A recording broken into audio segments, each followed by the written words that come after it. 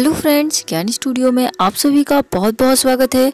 दोस्तों, यदि अभी तक आपने मेरे चैनल को सब्सक्राइब नहीं किया है तो नीचे दिए रेड कलर के सब्सक्राइब बटन पर क्लिक करना बिल्कुल ना भूलें। तो दोस्तों, आज की इस वीडियो में मैं आप सभी के लिए लेकर आई हूँ एक और नई ब्यूटी टिप्स जिसमें मैं आपको बताऊँगी कि आप दही का प्रयोग करके किस तरह से घर पर ही क्लींजर बना सकते हैं।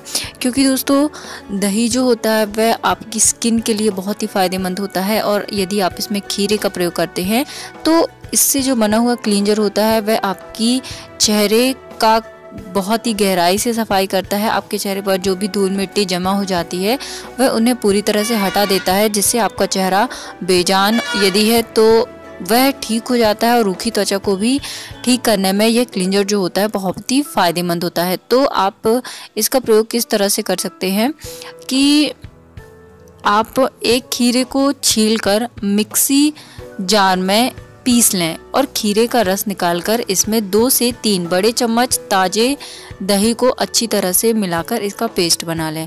अब आप इस पेस्ट को अपने चेहरे और गले पर लगाएँ और सूख जाने पर अपने चेहरे को ठंडे पानी से धोकर हल्के हाथों से पोछ लें। दोस्तों, खीरा जो होता है, वह त्वचा की सफ़ाई के लिए बेहतरीन माना जाता है।